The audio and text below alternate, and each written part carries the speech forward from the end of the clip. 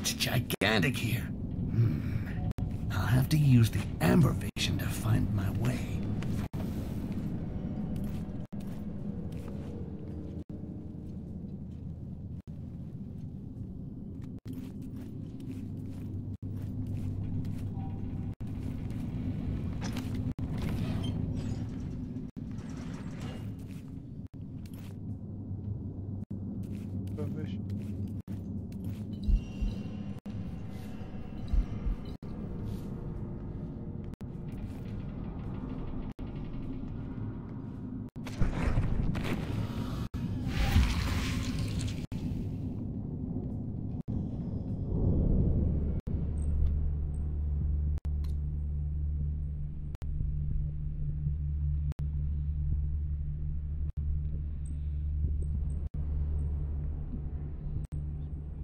Whoa, yeah, yeah. Woohoo! Ah.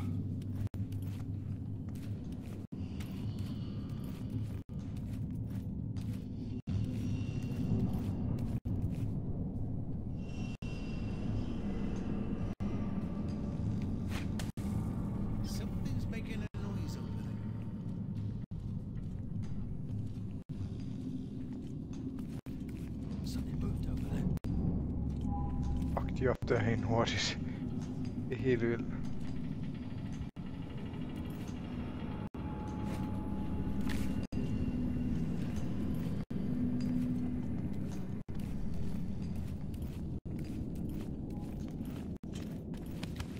Let's see. You never know.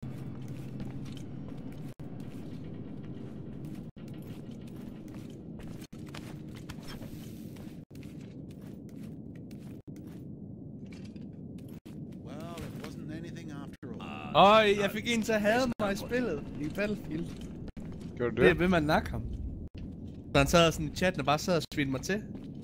Men du skulle gå over og spille battle, uh, hvad hedder det, Call of Duty. men, men det er sådan lidt, hvorfor? Jeg sidder bare og wrestler mine kammerater gennem HP og skyder dig. Altså, så må du bare være med at løbe lige foran mig hele tiden. Ja. Åh.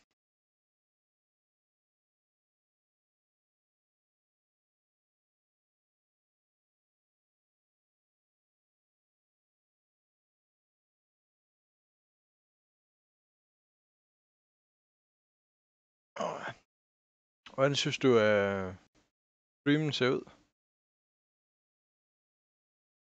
Uh, hvis du var inde og se den selvfølgelig. Undskyld hvad? Siger, hvordan synes du streamen ser ud? Den så fin ud. Uh, I hvert fald fin kvalitet. Godt, godt. Shit!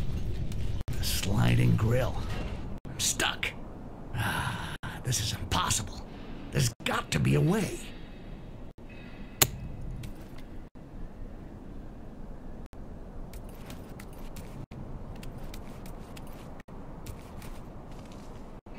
Meget fin kvalitet. Au. Nå, det var. Åh, helvede.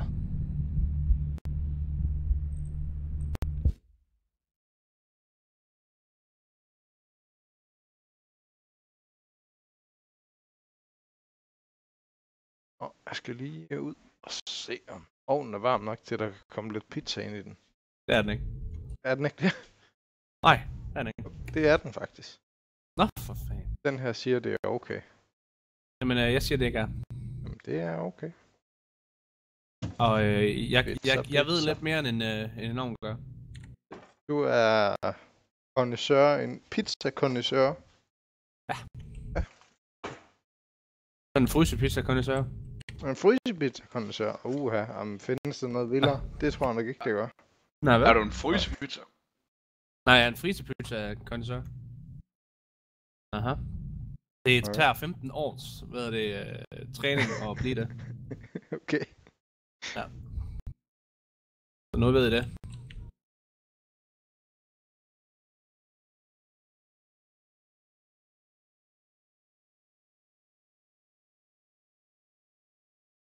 Oh shit.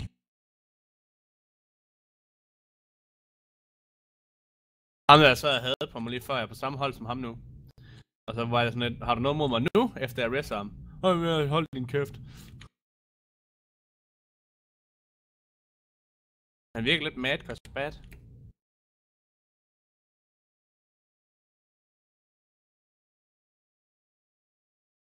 Han er bare en hat. Ja, egentlig. Jeg vil også lige skulle have dem.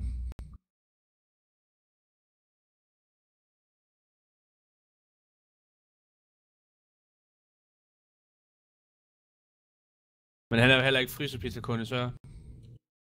Nej, det er jo det. Altså, det, det, det tager altså på en. Han er vel jelly.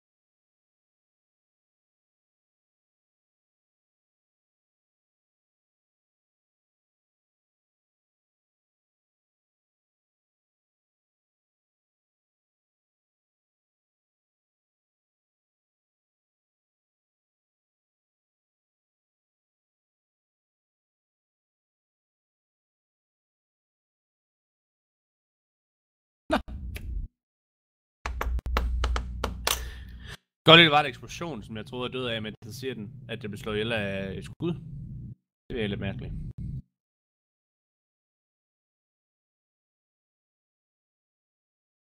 Hvad sagde du, Sus? Jeg sagde, der var en eksplosion, og så døde jeg i spillet, men den sagde, der var øh, en patron, der slog mig ihjel. Det var sådan lidt, nå, okay. Meget en eksplosiv ek- øh, patron. Men tydeligvis. Du, du, du, så er der sat den af med pizza i ovnen, du. Nå, for fanden. Ja, for fanden. Men det er faktisk ikke frysepizza. Nå. Øh, The, the homemade stuff.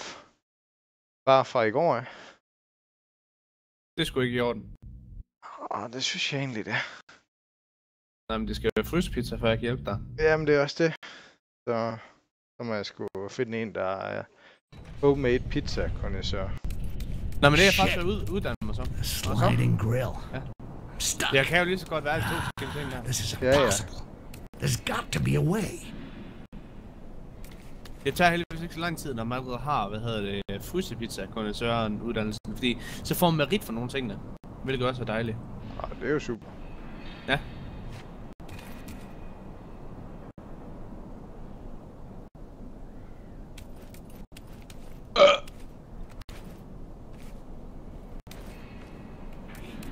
Sticks. Over here. What's that? Somebody there? It's all Nej, folk inde på den her bane, de kan you.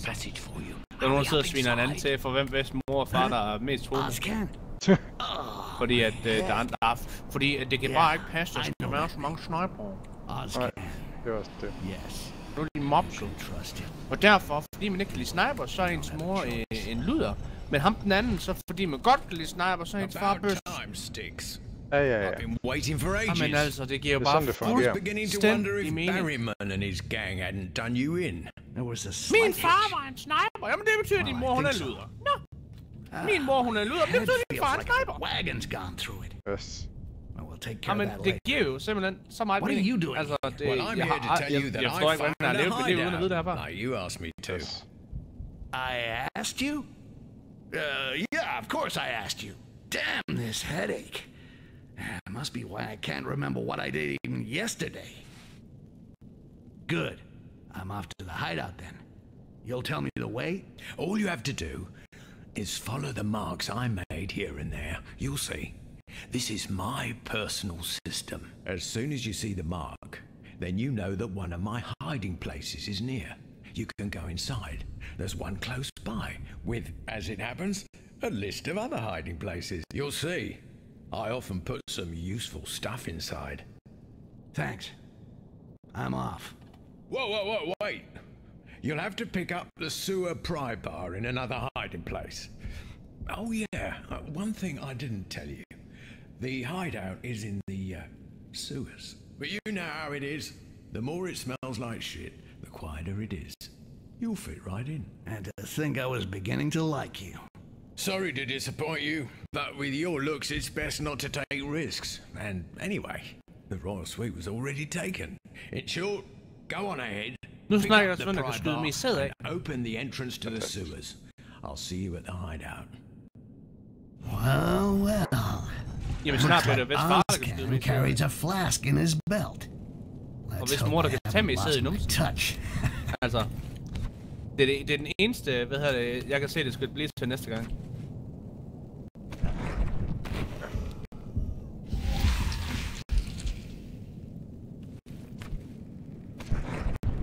Nå, nu er der en, der siger, men uh, han vinder, fordi han er cool. Det er de andre ikke.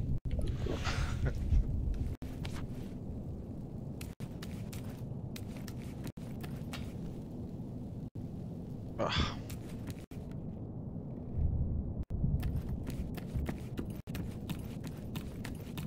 I could easily find these marks with my amber vision. shit.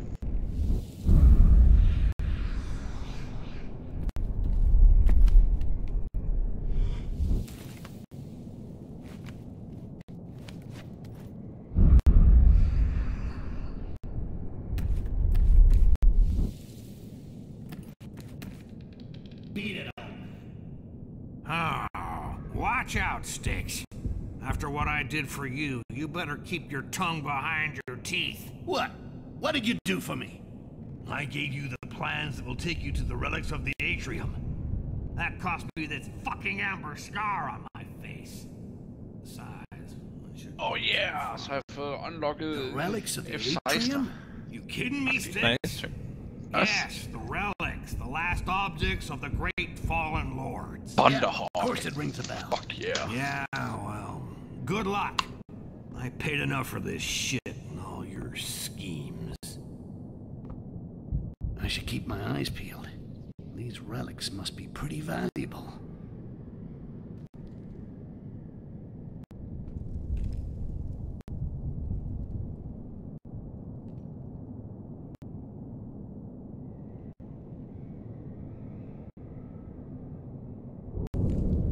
Nå! Nu er Janne luder.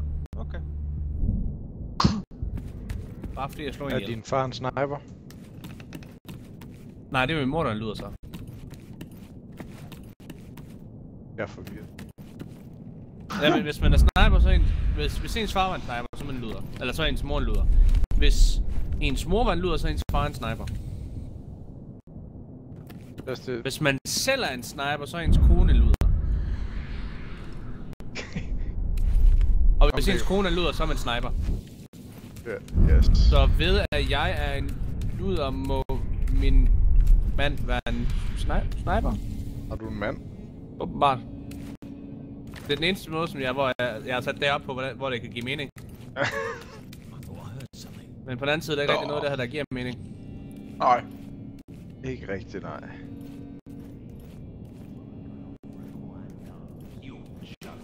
What's going on over nok. Fuck. Kæft, man, skal man godt nok vende sig til, at bare man går ind i den mindste ting,